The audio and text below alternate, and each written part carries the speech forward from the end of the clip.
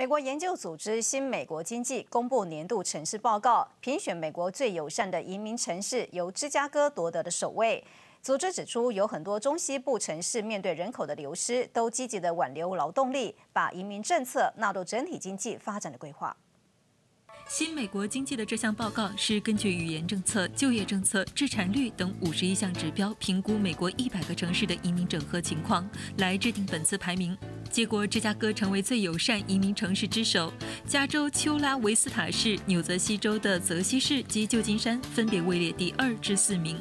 芝加哥有五分之一人口为移民，一向以移民避风港自居。二零一六年，移民一共为芝加哥带来接近一百七十亿元美元的家庭收入和六十亿元的税收。芝加哥有四分之一的本地购买力也有来自移民。新美国经济报告显示，芝加哥虽然和其他主要城市一样，可负担房屋薪酬差距方面有待改善，但亦创造了包容的法律环境，又主动提出政策支援无证移民及透过延缓遣返无证入境儿童计划留居的移民。